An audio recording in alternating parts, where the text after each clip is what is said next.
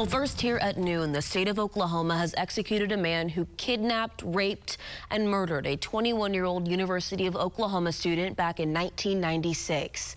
Thank you so much for joining us. I'm Kristen Weaver.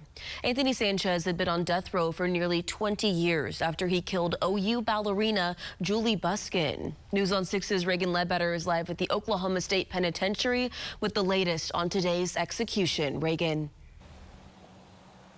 Kirsten, today's execution started a few minutes late because the Department of Corrections staff was waiting on a last-minute decision by the U.S. Supreme Court. Now, in Anthony Sanchez's final words, he said he was innocent. He thanked his supporters, then called his lawyers the worst ever in the state of Oklahoma.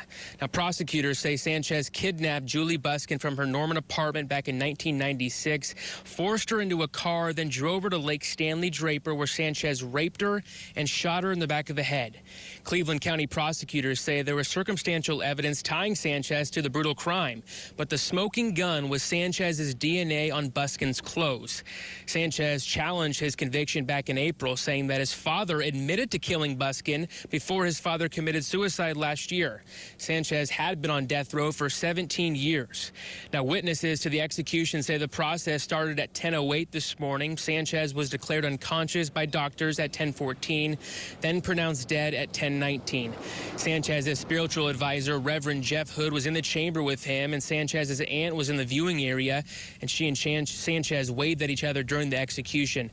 Attorney General Gentner Drummond and his staff also attended the execution and says he talked with Juli Busken's family several times leading up to today. On their behalf, I visited with them numerous times since uh, in the last nine months, before the execution and after the execution. They want me to convey their deepest regard to the Department of Corrections for their excellence in all manners and to the Attorney General's Office Victims uh, Services.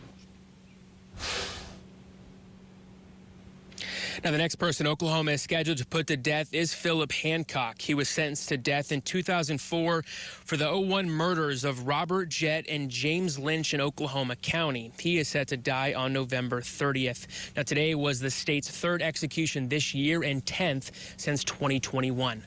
Live in McAlester, Reagan Ledbetter, Oklahoma's Own, News on 6.